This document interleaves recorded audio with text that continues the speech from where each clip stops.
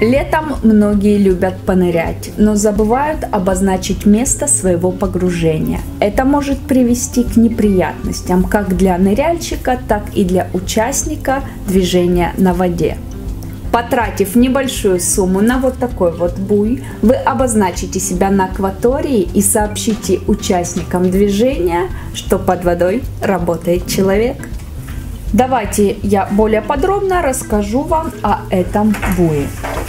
Он выполнен из двух частей. Это основная, которая надувается с помощью вот такого вот клапана. Он используется на большинстве э, водных аттракционов, игрушек. Вот. Э, она единое целое с вот таким вот флажком. Этот э, флажок обозначает, э, имеет э, международное обозначение, что под водой работает человек. Сверху нейлоновый чехол.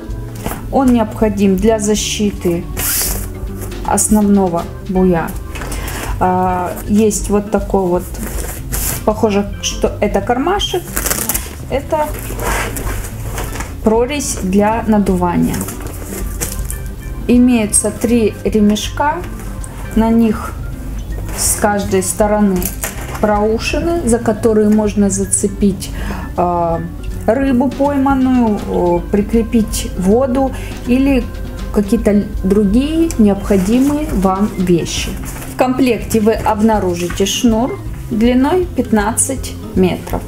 С одной стороны есть пластиковая проушина и карабин. Одним концом шнур вы цепляете к бую, второй конец цепляется к одежде водолаза.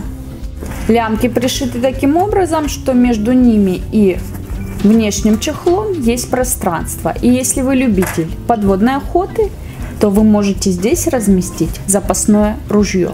Но, к сожалению, у меня нет ружья, зато у меня есть шило.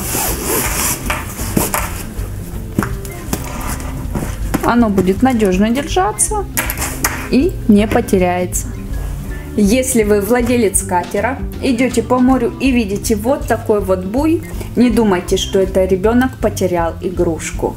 Это буй, который обозначает, что под водой работает водолаз.